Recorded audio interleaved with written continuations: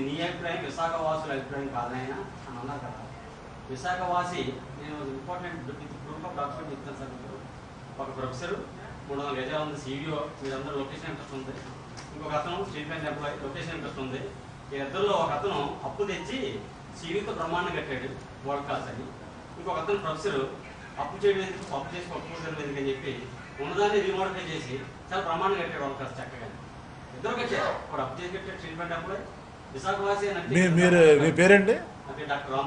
Doctor Rambabu గారు? ఒక నిమిషం అండి. మన హోటల్స్ ఉన్నాయి. ఇప్పుడు నెల్లూరు మెస్ హోటలే నోవటల్ హోటలే.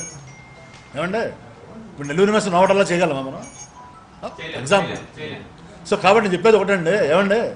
టూరిజం పరంగా మీరు ఒకసారి స్టడీ చేయండి. అరే అరే వినండి సార్ ఒకసారి నేను చెప్పేది. రిసార్ట్స్ కానీ హోటల్స్ కానీ ఒక స్టార్ రేటింగ్ ఇవ్వాలంటే గవర్నమెంట్ ఆఫ్ ఇండియా కానీ ఇంటర్నేషనల్ టూరిజం కానీ దానికి కొన్ని మినిమం ఇవి ఉంటాయి స్టాటిస్టిక్స్ ఓకే ఒకరు ఒకరు మాట మీరు అడిగారు అయిపోయింది. ఎన్నిసార్లు చెప్పారు మీరు? నువ్వు అడిగారు అయిపోయింది.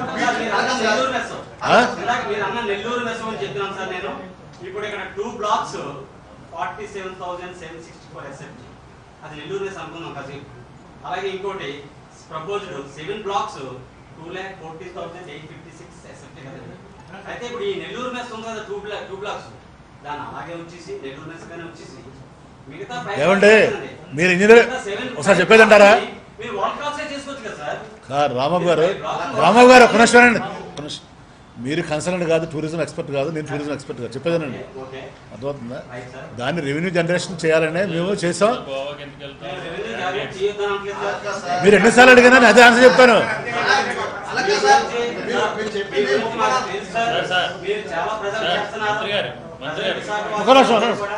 కాదండి. ఇప్పుడు ప్రభుత్వం మీరు చెప్పిన నడవదు కదా. మీరు చెప్పినట్టు తెలుగుదేశం పార్టీ చెప్పిన నడవదు. చెప్పేదానండి నేనేం చెప్పాను ఇప్పుడు మీకు? పదిహేను నెలల దగ్గర ఆనంద ఆనంద్ గారు అడిగారు. ఏమని అడిగారు? టైం డ్యూరేషన్ అంతా పదిహేను ఆ ప్రాజెక్ట్ గురించి వదిలేయండి ఇంకా. పదిహేను తర్వాత మాట్లాడదు మనం. ఫిఫ్టీన్ మంత్స్ తర్వాత మళ్ళీ మనం మీరు ఉంటారు నేను ఉంటా అంత విశాఖపట్నం అక్కడే ఉంటుంది వదిలేయండి కాదు సార్ ఫిఫ్టీన్ మంత్స్ తర్వాత మీరే చెప్తారు. మినిస్టర్ గారు మంచి పని చేశారు సార్. ఓకే.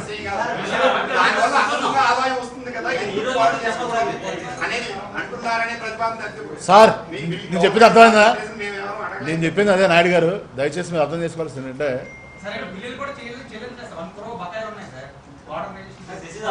ఎవరు ఎవరికి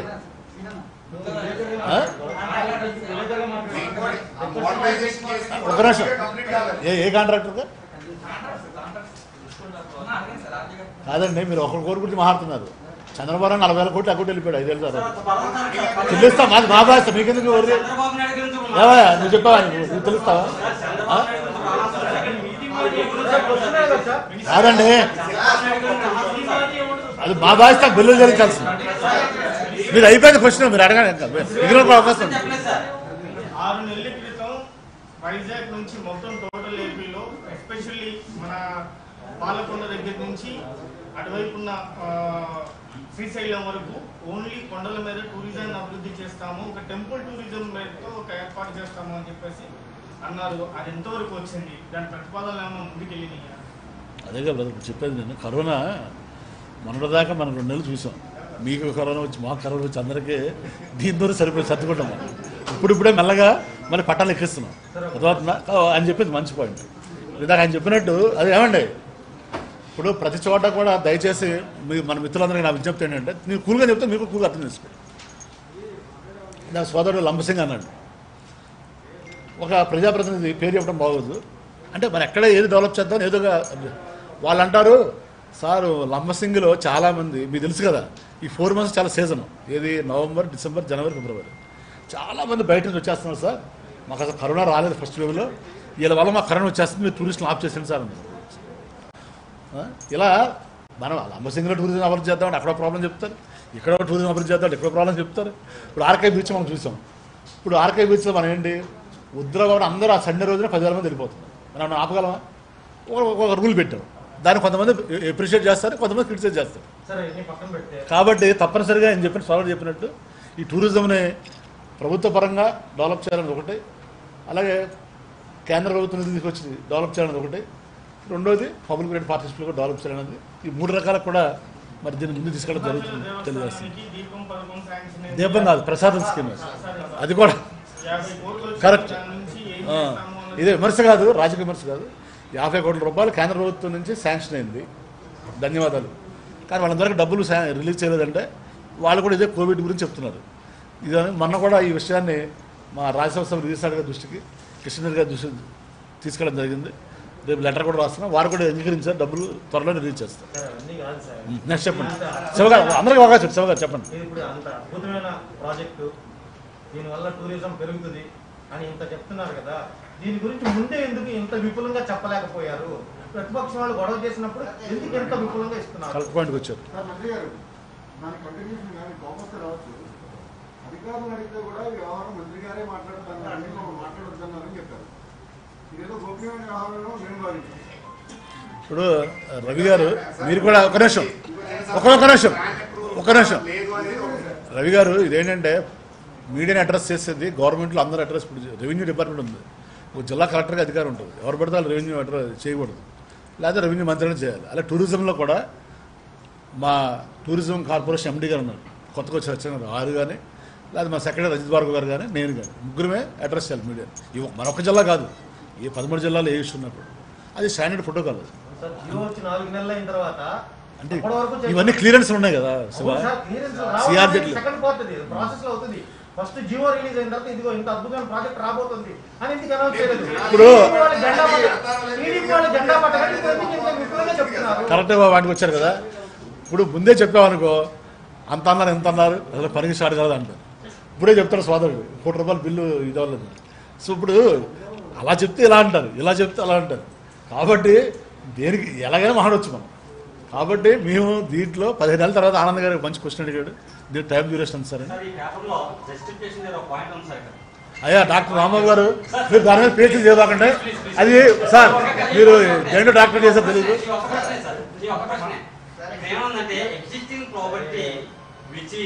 sir sir thirteen to thirty one years old అన్నది ఓల్డ్ విల్ నాట్ ఫిట్ అన్నారు సార్ అంటే 30 దాని మీద సార్ రామారావు గారు Three is not fit. సెల్లె సెల్లె శోధన వద్దు దాని మీద. మనం దే ప్రతిదాన్ని మంచోడో చెడు చూడొచ్చు ప్రతి దాంట్లో. పదిహేను నెలల తర్వాత మీరే చెప్తారు కదా. మంచి పని. ఓకే. ఏది? ఇది కాకుండా కొత్త ప్రాజెక్ట్ వస్తే దీనికి దానికి వేరియేషన్ ఉంటుంది. ఒక క్యాలిక్యులేషన్ ఉంటుంది కదా. నాయుడు నేను అది చెప్తారా పదిహేను నెలల తర్వాత మీరే మా మా కలుస్తాను మాట్లాడదు. అసలు కంపారిజన్ ఉండదు నాయుడు. ఎవరు వెళ్ళిపోతే? ఇదేంటి వెళ్ళిపోతారంట? మరి మాట్లాడదాం. Hypothetical question. చెప్పండి. జిల్లా మంత్రిగా ఉన్నారు. మాన్సాస్ విషయంలో మాన్సాస్ భూముల విషయంలో ప్రస్తుతం మళ్ళీ విజిలెన్స్ అండ్ ఎన్ఫోర్స్మెంట్ వెళ్ళి విచారణ చేయాలని చెప్పేసి రాష్ట్ర ప్రభుత్వం వచ్చేప్పటి క్రితం ఉత్తర్వులు జారీ చేస్తారు అసలు ఆ భూముల వ్యవహారంలో ఏం జరుగుతుంది? మొన్న మాజీ కమిషన్ సస్పెండ్ చేశారు ఏం చేస్తున్నారు? ఏం ఓకే. మంచి మంచి క్వశ్చన్ కన్స్ట్రక్టివ్ క్వశ్చన్. ఇప్పుడు మనందరూ తెలుసు ఉత్తరాంధ్రలో ఈ భూములన్నీ కూడా ఎక్కువ మరి ఏనా భూములు ఎక్కువ ఉన్నాయి? ఈ జమీందార్ ఎస్టేటు దానివల్ల చాలామంది దాంట్లో ఉన్నటువంటి లూప్ హోల్స్ను ఉపయోగించుకుని ఈ ప్రభుత్వ భూములు కానీ ఎస్టేట్ భూములు కానీ ఏనా భూములు కానీ అన్యాక్రాంతమైన మాట మనందరూ తెలుసు. గతంలో కూడా తెలుగుదేశం ప్రభుత్వం సిట్ మేము వచ్చినప్పుడు సిట్ తర్వాత ఈ మధ్యకాలంలో మనం అంటే నేను కూడా అంత దృష్టి పెట్టలేదు. సింహాచలం పంచగ్రామాల భూ సమస్య అనేది మనం మేము చూసుకున్నాం. కానీ సింహాచలం దేవస్థానానికి సంబంధించిన భూములు కూడా తెలుగుదేశం ప్రభుత్వంలో అన్యాక్రాంతమైనవి. దేవస్థానంకి భూములు విషయంలో ఆ దేవస్థానం రిజిస్టర్లోంచి ఆ భూముల్ని తప్పించి వేరే ఆటలకు ఉపయోగించారనేది వారు తెలియటం వల్ల మనం అధికారమే చర్యలు తీసుకోవడం జరిగింది. సో దాని గురించి పూర్తిగా పూర్తి స్థాయిలో ఎందుకంటే ఒకసారి దేవస్థానానికి ఇచ్చేసిన తర్వాత మనం చైర్పర్సన్ ఉన్నా మనం కూడా ఉన్నా ఏదున్నా కూడా. అది పూర్తిగా దేవస్థానం సంబంధించింది. దాని మీద హక్కులన్నీ కూడా దేవస్థానానికి ఎండమెంట్ డిపార్ట్మెంట్కి ఉంటాయి. సో ఉన్నప్పుడు ఏ రకంగా అవి మిస్యూజ్ అయినాయి? ఆ దేవస్థానం భూములు అనేది క్షుణ్ణంగా పరిశీలన చేసి ఎందుకంటే మీకు తెలుసు మనం ప్రజాస్వామ్య వ్యవస్థలో ఉన్నాం. ఇప్పుడు మన ప్రభుత్వం ఏదైనా తీసుకున్నా కూడా వేరే వాళ్ళ కోర్టు కూడా వెళ్ళవచ్చు కాబట్టి లీగల్గా ఎలాంటి ఇబ్బంది లేకుండా దాని మీద పూర్తి స్థాయిలో ఎంక్వైరీ కమిటీ చేసి దాని బాధ్యత దానికి బాధ్యులైనటువంటి అధికారులు ఎవరో వాళ్ళని కూడా చర్యలు తీసుకోండి.